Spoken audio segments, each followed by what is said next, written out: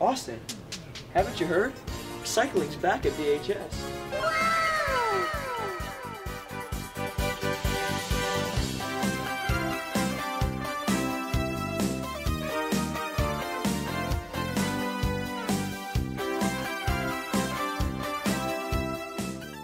Austin, did you know when recycling plastic containers, rinse out the water? Here, try it one more time. Thanks, Oh, Maddie. one more thing? Don't forget to remove the cap off. Thanks, Maddie. I didn't know that. You're welcome.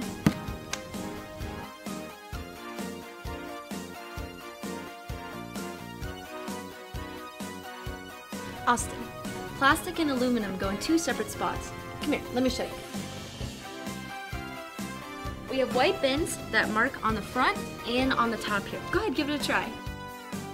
Wait, Austin, before recycling plastic or aluminum, you have to rinse them out beforehand.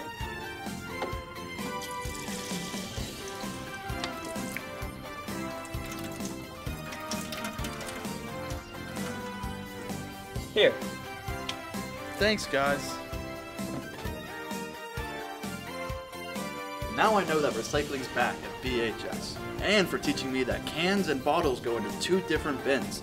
Also, you have to rinse and remove caps of all bottles before throwing them in the bins. Good job, Austin. Thanks, guys. Awesome. And always remember to reduce, reuse, and recycle.